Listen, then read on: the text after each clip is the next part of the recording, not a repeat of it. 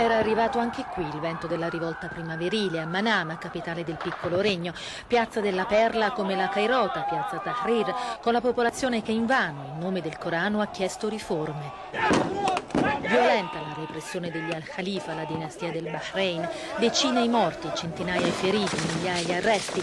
Medici e infermiere accorgono in ospedale i dimostranti colpiti dai soldati del re, aiutati da truppe saudite arrivate a dare manforte. Oggi la resa dei conti, pene dai 5 ai 15 anni per 20 traduttori e infermiere, condannati, dice la sentenza, per aver occupato e abusato delle strutture dell'ospedale, aver diffuso false notizie con finalità terroristiche. In altre parole, colpevoli di aver fatto il loro dovere, di aver curato, salvato, prestato cure mediche ai dimostranti scesi in piazza contro il regime, per aver mostrato le prove, aver parlato con i media stranieri, per aver pianto le vittime.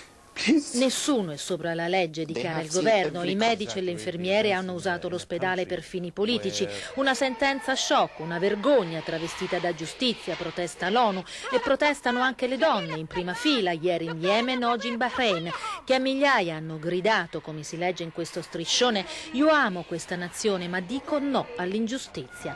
In piazza come Ayat, 19 anni, che a marzo a Manama declamò una poesia contro il governo, liberata dopo tre mesi di carcere, torture e soprattutto pubbliche scuse in tv.